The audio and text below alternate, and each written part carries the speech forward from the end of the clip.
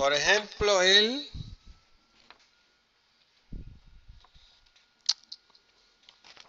El 18. Pone Pau, no Pau Gasol. Pau, septiembre de 2004. Dice, un centro de llamadas atendió el año pasado 60.000 consultas telefónicas. Tiene una plantilla de 20 teleoperadoras que trabajan 250 horas al año. Entonces tú tienes ahí un producto que mm, las llamadas atendidas. Por los auriculares, guía. Son 60.000 llamadas.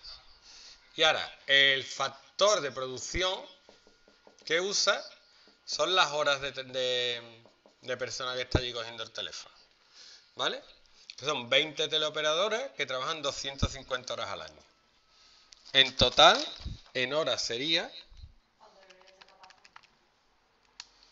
5.000 horas.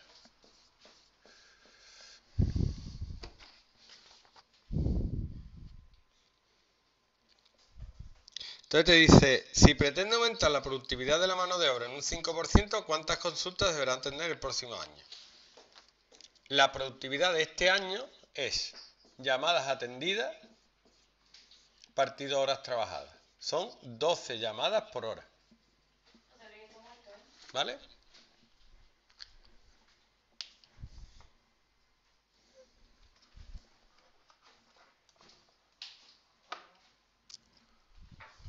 La productividad del año anterior es 12 llamadas por hora. ¿Qué tengo que hacer si quiero que llamen más? O si quiero que, la productividad aumente un 5%. ¿Cuántas llamadas tengo que atender por hora?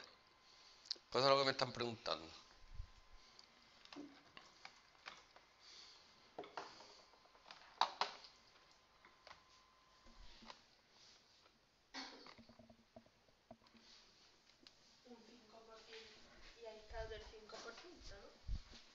Tengo que aumentar la productividad un 5%. Entonces la productividad nueva tiene que ser 12. A ver, lo puedo hacer más fácil. Puedo multiplicar las llamadas por aumentar las llamadas un 5%. Es una manera que tengo que hacerlo. vamos a suponer que no supiera eso. Vamos a suponer que quiero que la productividad aumente en un 5%. Eso sería multiplicar 12 por 1,05. ¿Por qué por 1,05? ¿Mm? ¿Vale? Pues ya está, la productividad tiene que ser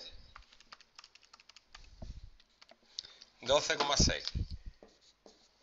Y ahora, para que la productividad sea 12,6, tengo que atender X llamadas, teniendo las mismas horas.